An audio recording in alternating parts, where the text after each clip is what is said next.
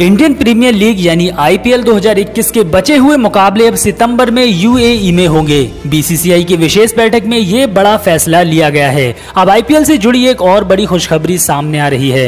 Reports की माने तो आईपीएल के बचे हुए 31 मैच खाली स्टेडियम में नहीं होंगे। यूएई के स्टेडियम में पचास फ़ीसदी फैंस को एंट्री की इजाज़त दी जाएगी। बस उसके लिए एक शर्त को पूरा करना होगा।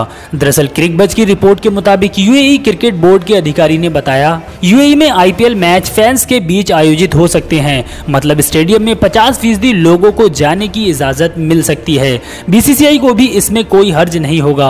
यूएई के नियम के मुताबिक जिन फैंस को कोरोना वायरस की वैक्सीन लग चुकी है, वो ही स्टेडियम में जाकर आईपीएल मैच का लुत्फ ले सकेंगे। बता दें बीसीसीआई के अधिकारी इस वक्त दुबई में हैं और वो ईसीबी और यूएई के साथ आईपीएल को लेकर कई अहम मुद्दों पर चर्चा कर रहे हैं। बीसीसीआई सचिव जय शाह, कोषाध्यक्ष अरुण सिंह धूमल, उपाध्यक्ष राजीव शुक्ला और संयुक्त सचिव जयेश जॉर्ज सोमवार को दुबई पहुँचे। बीसीसीआई के यह अधिकारी आईपीएल आयोजन संबंधित मुद्दों पर आधिकारिक बातचीत करने पहुँचे हैं। इसमें मुख्य मुद्दा होटलों का किराया है, क्योंकि दुबई एक्सपो की वजह से वहाँ होटलों के दाम काफ़ी ज़्यादा बढ़े हुए हो सकते हैं।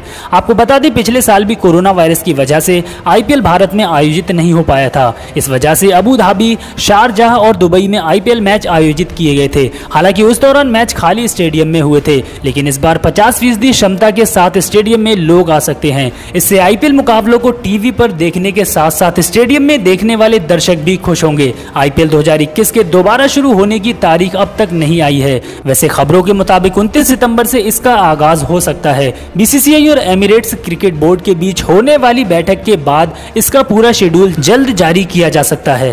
दोस्तों, इसी तरह की और क्रिकेट न्यूज़ के लिए चैनल को सब्सक्राइब कर नोटिफिकेशन बेल में ऑल सेलेक्ट करना ना भूलें।